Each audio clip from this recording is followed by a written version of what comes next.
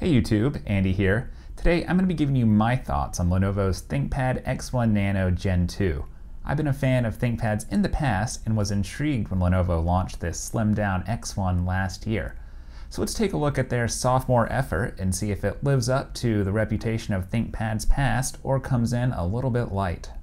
I have the version with the i5-1240p processor with 16 gigabytes of RAM and a 512 gigabyte SSD the other specs like screen are the same across all the X1 Nano, so I won't get into those. And with that out of the way, let's start by talking about the build quality.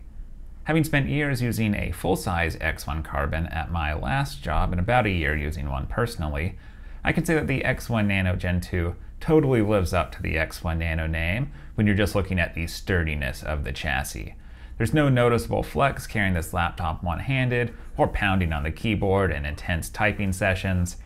As X, although as every X1 series reviewer always notes, these things are absolute fingerprint magnets with that soft touch finish. I haven't cleaned mine, so this is more or less what you can expect yours to look to look like in between regular wipe downs, which will be pretty regular with one. One final note on build quality is that I did notice some squeakiness in some of the keys when I, on the keyboard when I first received the laptop, most noticeably with the backspace key and some others in that area.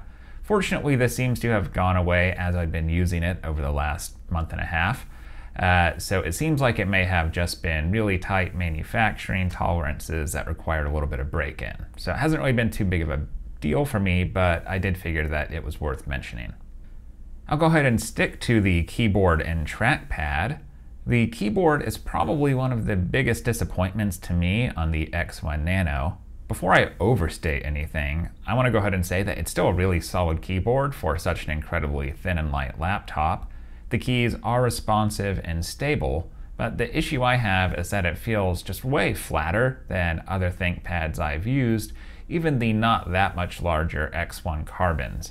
Uh, it also feels a little bit squished to me, um, although back to the flatness, it has more of like a Dell sort of XPS 13 type feeling, but it still has the rounded curved keys, uh, sort of Lenovo style, which makes it feel, I don't know, a little odd. I feel like the, the sharper keycaps that Dell uses make that style of keyboard, keyboard uh, work a little bit better. Uh, I actually think the X1 Nanos might work better if they did something like that and sort of moved away from more of a traditional ThinkPad key, key cap uh, design. But, you know, I don't know. So I don't love the keyboard, it's not awful. Um, moving on to the trackpad, this is gonna be a little sacrilegious as a ThinkPad enthusiast, but I've never actually been that much of a trackpoint enthusiast. The trackpoint is also known as the, uh, the mouse nipple uh, or other worse things than that. So not worse, just different. so this is a little sacrilegious because a lot of ThinkPad people love those, but the X1 Nano is a device where the smaller trackpad, due to dedicating buttons to go along with the track point, you really feel that due to how small this laptop is. And this trackpad just feels really small. Um, it's a pretty good trackpad, there's nothing wrong with it. It's not an awesome trackpad, but it's pretty good.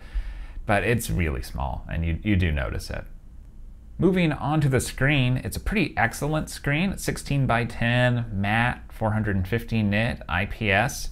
Um, it's really color accurate. I think it's, you know, it has one of those really fancy ratings, P3 or something like that. Um, so really great looking screen. It seems to be 450 nits. I have an HP Aero 13 kicking around with a 400 nit rated screen. Um, and it gets brighter than that and it, it looks more accurate than that. So it's a really good looking screen, which is awesome. Uh, if there's one thing I could nitpick a little bit about on the screen, and this is a, a really big nitpick, is that on Windows 11, I find the resolution for scaling to be slightly awkward. Because um, on Windows, you want to stick to like 150 or 125, one of those values, because there are some issues if you try to set custom values. And I just feel like, and it's more of a Windows 11 issue uh, where the user interface, the taskbar is just really fat for some reason but I find that the scaling is just a little little odd. I, I wish it was uh, a little smaller at 150% or a little bigger at 125, but that's a weird nitpick. One nice feature on the X1 Nano that's sitting just above the screen is a 1080p webcam with an f2.0 lens.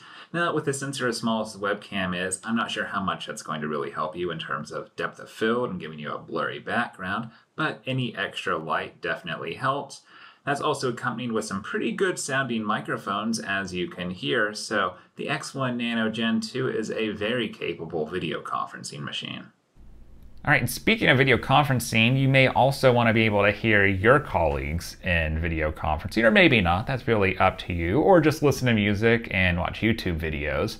So how are the speakers on the X1 Nano? They're, you know, they're very okay. Um, you can do a lot worse on thin and light laptops. You can also do a lot worse on, on ThinkPads, at least if you go back a couple of years. There were some really rough ones. I have a P72, which is a huge laptop. Bad speakers, but getting back to the X1 Nano. The speakers have pretty good representation of sound um, across like the entire spectrum. Like you can even hear that, you know, it represents that bass is supposed to be there, even if you're not really hearing it. But it is definitely lacking on bass and they don't get as loud as you would sort of you expect them to when you're cranking up the volume because the volume sort of caps out around 70% um, or 70 sort of points on the volume slider. And once you go up past that, you're getting very slight volume increases. But at the same time, they're not blowing out uh, and, and distorting. So that's a, that's a positive. They are solidly okay speakers. Another option for audio is to plug in a pair of headphones to the audio jack, which is one of only three ports on the entire laptop, along with the two USB-C Thunderbolt ports that are used for charging or external displays, docks, whatever you want to use those for, everything else. You should know by now how much of a problem having minimal ports like that is for you, so I'll just add that having one USB-A port would go a long way in certain situations. All right, moving on to battery life and performance. Battery life has been a lot better than I expected, although my expectations were pretty low because there are a lot of people sort of dogging Lenovo's choice to put a P-series processor in the X1 Nano Gen 2. But I found that on battery and when you have it turned down to sort of uh, better battery life, which you can set or like, you know, more efficient, which you can set even when plugged in, that seems to clock down just as effectively as the full-size X1 Carbons I've used in the past, which all had U-series Intel processors, uh, which are the lower wattage. And as for the battery life, I found that I'm getting about six to seven hours uh, for normal web browsing and, and, sort of light writing and, and chat messaging type usage, uh, which is seems about average for a PC these days. Obviously, doesn't come close to something like one of the M1 Macs, um, but it's, you know, it's okay. It's not great. There's some AMD laptops that definitely do better than that. Um, so yeah, battery life is, is also just sort of average for an Ultrabook.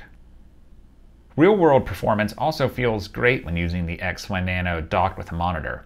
I've done a lot of raw photo editing on the X1 Nano in Lightroom Classic, and it's provided a really great experience that feels more like a desktop than previous thin and light laptops I've used in the past, uh, which is just pretty cool to get to that point. I will say one area where it's been a little bit of a letdown, which shouldn't be too surprising with the Intel Iris Xe graphics, is for 4K video editing, at least in DaVinci Resolve. Um, unfortunately, the timeline is, you know, scrubbing through the timeline is really slow. And comparing that to something like the M1 MacBook Air, it's just, you know, a night and day difference how much better the M1 is for video editing. So, not a great 4K video editing machine, not even a good 4K video editing experience. The fans on the X1 Nano Gen 2 are one area where Lenovo did a great job.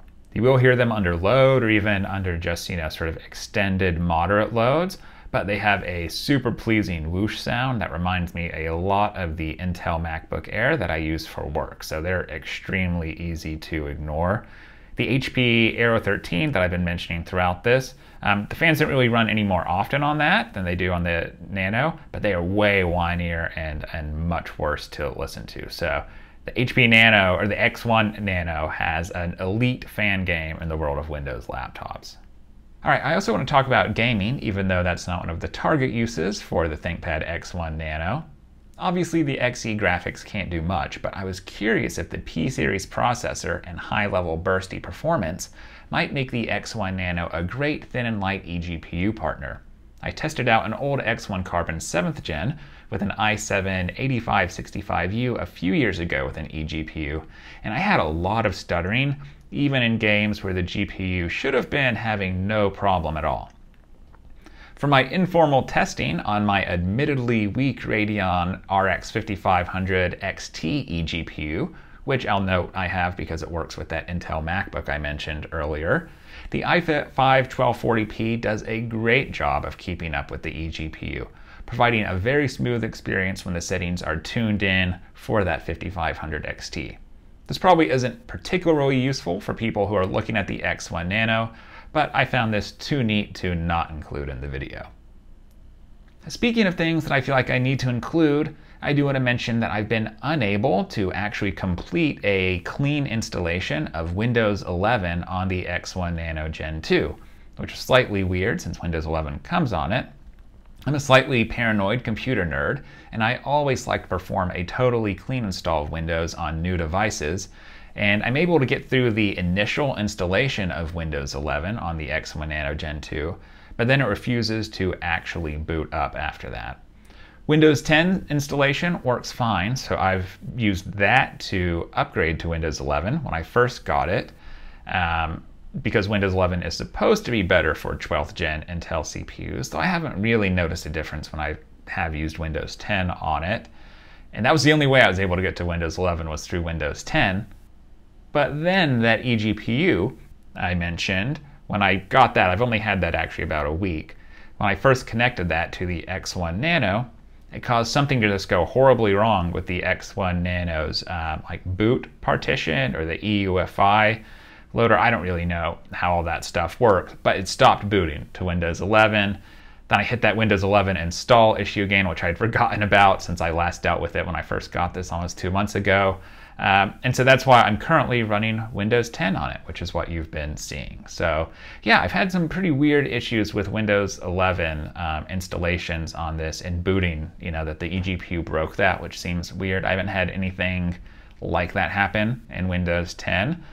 So yeah, definitely a little bit of weirdness there. This is still a pretty new device while I have it. Um, I bought this pretty early and so hopefully Lenovo will have an update to fix this, but it is something I wanted to note in the review right now. So with all that in mind, where does that leave the X1 Carbon, or sorry, the X1 Nano Gen 2? Uh, it's a really thin and light laptop, super thin and light, like two and a half pounds. Uh, the CPU performance, surprisingly good. Those are really good positives. So this might be a really great laptop if you're like a traveling business user where you travel a lot, where every little bit of extra weight and size really adds up. Uh, and then you would also really appreciate those video conferencing features with the sweet webcam. Um, and then maybe you wouldn't mind the fact that the keyboard and touchpad, the trackpad aren't so great because you know you're not doing super heavy work on. Maybe you're doing a lot of presentations or something. Um, that's maybe who it would be a good fit for. Unfortunately, I think most people would probably be better served by the full-size X1 Carbon rather than the X1 Nano.